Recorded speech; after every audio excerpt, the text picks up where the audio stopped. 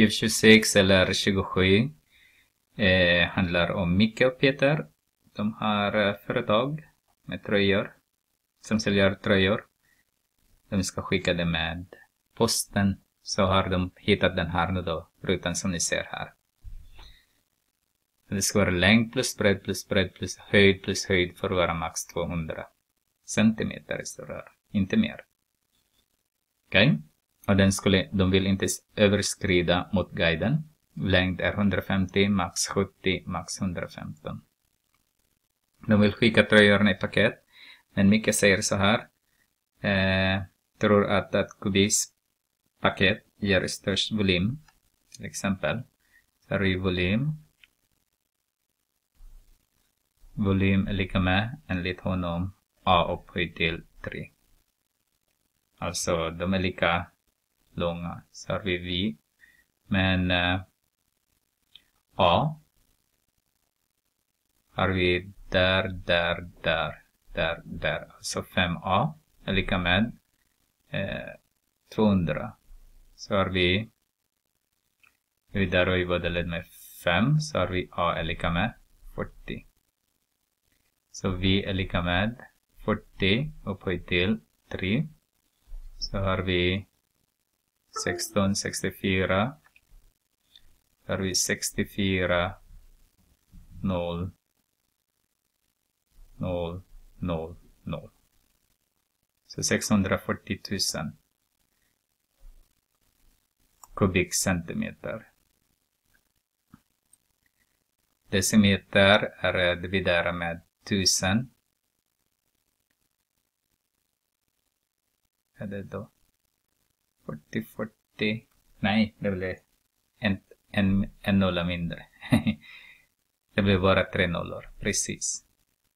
Så, eller om vi, om vi vill omvandla som de gjorde i boken, det blir 64 kubikdecimeter. Därför att eh, uh, 1000 kubikcentimeter är en kubikdecimeter. Varför det? Därför att 10 centimeter multiplicerar med 10 centimeter multiplicerar med 10 centimeter. Det är 1000 kubikcentimeter. Och det här är en decimeter. En decimeter. En decimeter. Det är därför att det är en kubikdecimeter. Mm. Okej okay då. men vad säger den andra då? Då har vi en längd skriver vi med L, så. Sen bredd plus bredd har vi X där, X där, X där, X där. Så har vi 4X är lika med 200. Så har vi längd är lika med 200 multiplicerar, subtraherar med 4X. Så om vi ska titta på volym nu då. Volym är lika med om det här är längden, där är bredden och där är höjden, eller fel där. För att skriva här är höjden, där är höjden. Så, så det här är L, där är X och det här är X. Så har vi L är den, så har vi 200. Så tar vi 4x, multiplicerar med x, multiplicerar med x. Eller v är lika med 200 x eh, upphöjt till 2 dividerar med 4x upphöjt till 3. Här kan vi behöva eh, värde på x för att komma till maximipunkt, maximivärde. Okej, okay. så har vi 200 är v prim är lika med 400 x subtraherat med 12 x upphöjt till 2. Om vi gör den till, 100, eh, till lika med 0 så har vi 12 x upphöjt till 2 är lika med 0. Då har vi 12 x. Så har vi 400 dividerat med 12. 400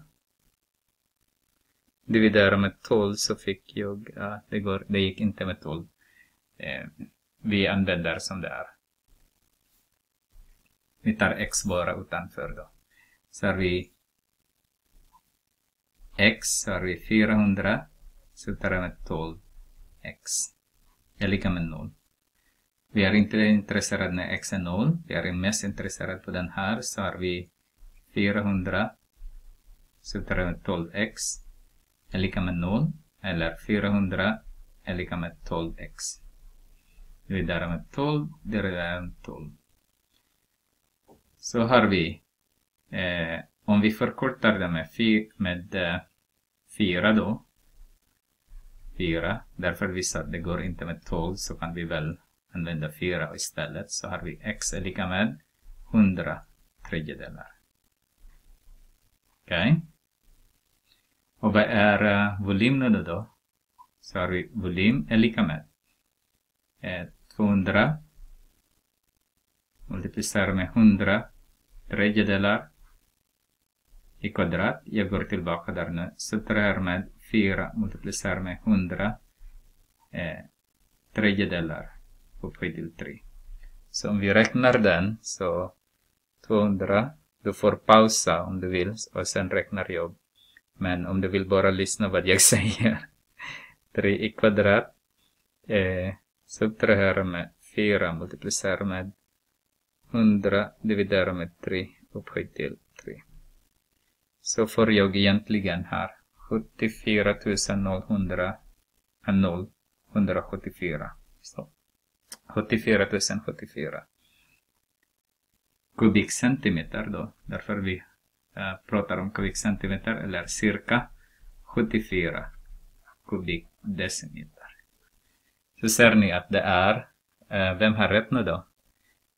Peter har längden. Vilken av de två typerna av paket ger största möjliga volym?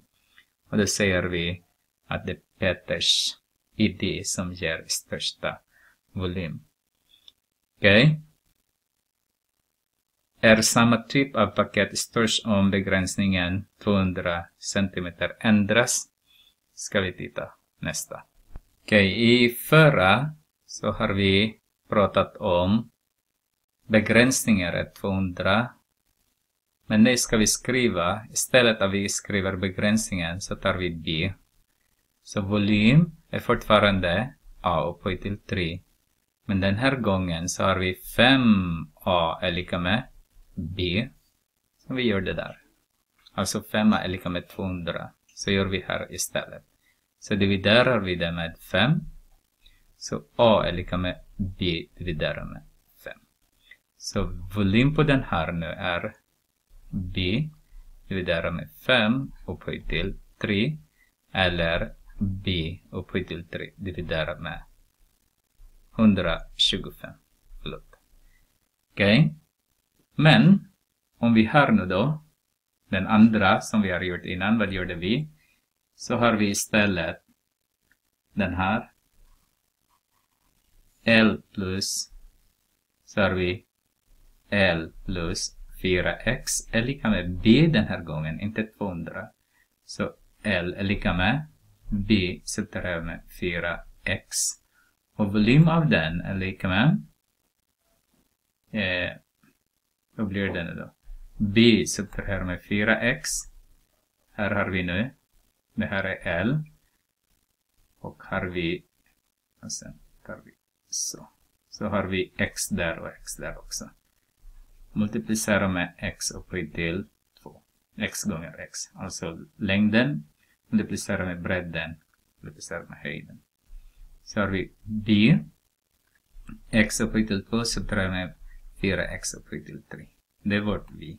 Och v prim som vi gjorde innan så har vi 2bx subtraherar med 12x upphöjt till 2. Om vi gör den till lika med 0 så har vi eh, 2bx är lika med är minus är lika med 12 x upphöjt till 2 är lika med 0. Om vi har 2x nu då så har vi b sätter med 6x är lika med 0. Då har vi vi är intresserade av den här Så har vi b sätter med 6x är lika med 0. Så 6x är lika med b. Så x är lika med b dividerat med 6. Den första så adderar jag båda led med 6x och sen dividerar jag med 6. Då har vi volym igen. Vi går tillbaka till volym igen. Så har vi b subtraherar med, nej, b. Här är vi. Där är vi. x upphöjt till 2 subtraherar med 4 x upphöjt till 3. Så har vi b. x är b upphöjt till, äh, b dividerar med 6 upphöjt till 2. Subtraherar med 4 multiplicerar med b dividerar med 6 i parentes upphöjt till 3.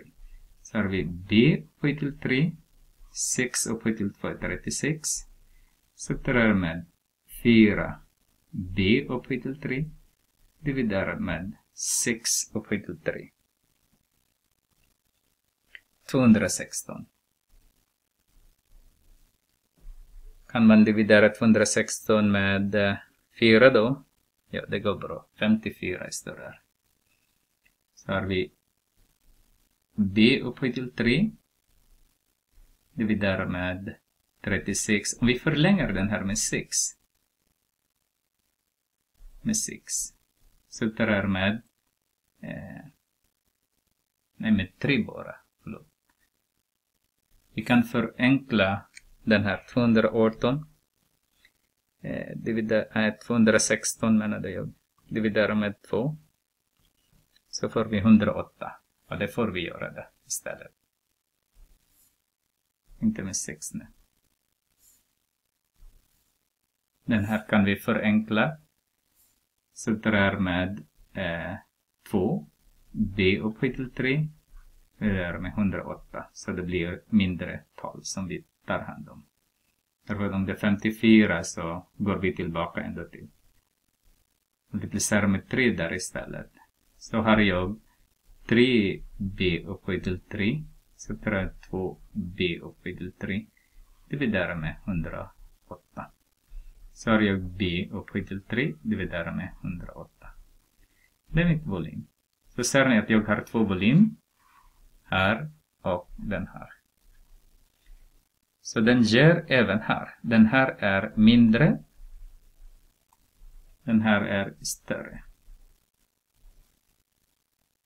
Varför det? Därför att vi har samma... Oj, det ska vara upphöjt till 3 där. Jag skriver där. Eh, nu har jag 3 där ovanför där. Jag tar bort. Så. Varför är den här större? Jo, därför att vi har samma täljaren, men vi har olika nämnaren. Och nämnaren här är större än här. Det vill säga eh, den här med annan begränsning b gäller fortfarande att vi har eh, så länge bredden, bredden, höjd och höjd är lika men längden kan variera beror på begränsningen.